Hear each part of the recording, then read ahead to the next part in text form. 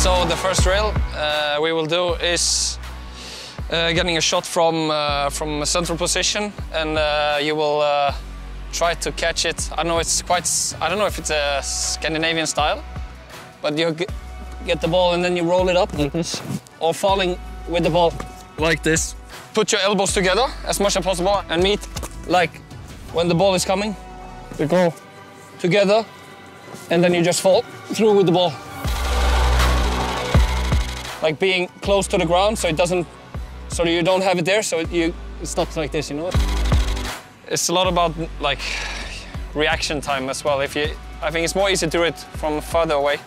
Otherwise it's if it's too close then you maybe go down like this or usually my style is more i get out down and i go with my feet instead.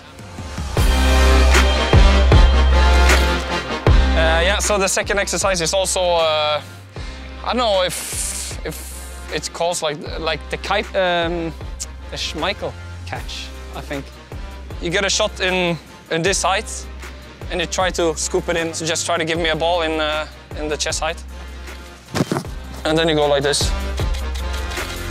Sometimes it depends on the the height of the ball as well. If you can go with it like uh, this to, to meet the ball and it just roll it in, or if you just if you put the ball uh, like yeah.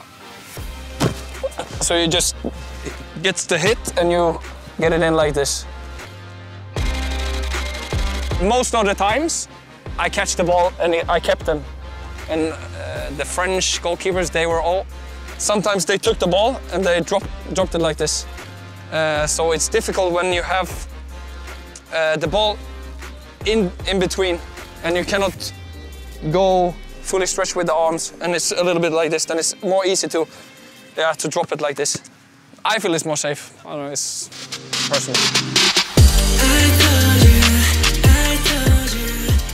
Third one is um, fast feet.